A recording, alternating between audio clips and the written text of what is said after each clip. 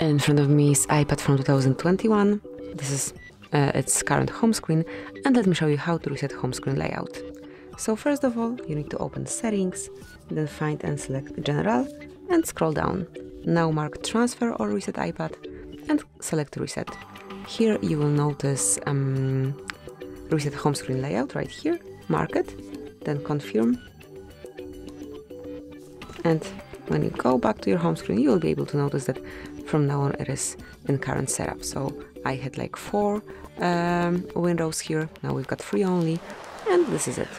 So that will be all how you can reset keyboard, uh, how you can reset uh, home screen layout. Thanks for watching. Please subscribe our channel and leave the thumbs up.